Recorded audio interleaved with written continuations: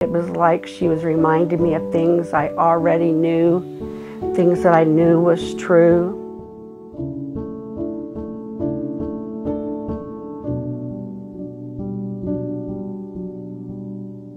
My name is Lori Still. I live in Springfield, Missouri, and my conversion story starts when I was very little.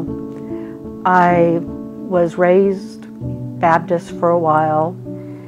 Um, when I was 11, my mom married her third husband, and life became really hard then. I went to many different churches trying to find something I needed, but I never found the right thing until I was like about 16, and the Donny Marie Osmond show came on. And I knew just by looking at them that they had something special in the life, something that I needed. So when I was 18 years old and I graduated from high school, I joined the Army. One of the first people I met was this girl named Sherry Benson. She was a member of the church. She gave me her Book of Mormon to read, and it was amazing.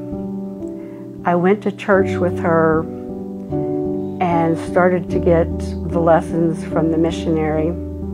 There was only one, her name was Danae Phillips. And in the classes, it wasn't like she was teaching me, it was like she was reminding me of things I already knew, things that I knew was true.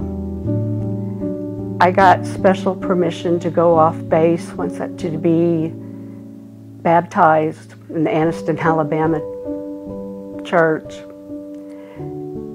when I came up out of the water, I knew that my life was going to be different. And then when I received the Holy Ghost, it was like I'm a whole new person. Right after that, I got out of the Army and was away from the church for a long time. And it was horrible.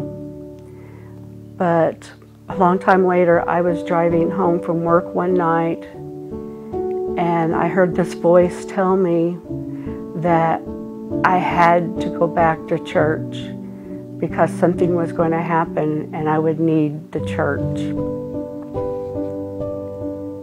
A couple months later, I started having all kinds of really bad problems and because I went back to church, I had a family that was there for me. And my life,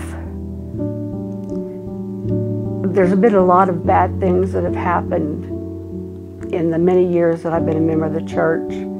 But since I've been back going to church, the bad stuff doesn't matter anymore. I have the gospel, I have the eternal perspective.